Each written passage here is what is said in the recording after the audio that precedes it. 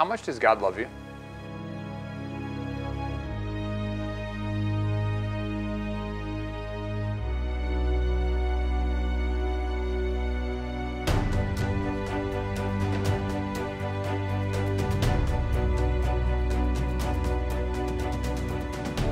Happy Easter. The tomb is empty. He's risen. Alleluia. Our gospel passage is John chapter 3, 16.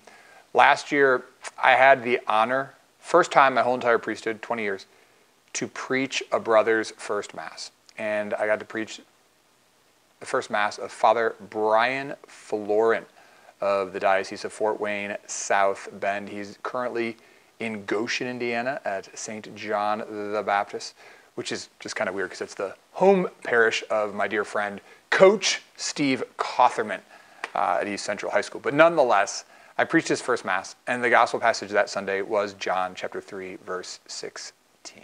For God so loved the world that he gave his only begotten Son, so that everyone who believes in him might not perish, but might have eternal life.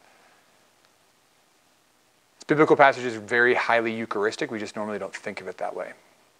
God so loved the world that he gave his only begotten Son.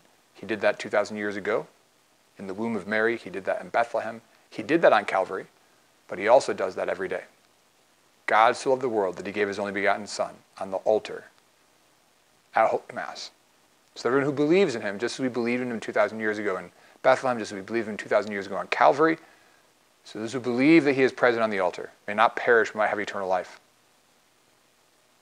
Same is true with the priesthood. God so loved the world that he gave the priesthood to the world. So those who believe what the priest says, your sins are forgiven, I baptize you in the name of the Father and the Son and the Holy Spirit. This is my body given up for you. This is my blood poured out for you. Will not perish, but will have eternal life. For God did not send his Son into the world to condemn the world, but the world would be saved through him. Do we realize how much we are loved? Do we realize that he loved us then, 2,000 years ago, but he loves us now? It's an active love right now as he continues to feed the church, nourish the church, sustain the church. It's amazing. God loves you now. He loves you now.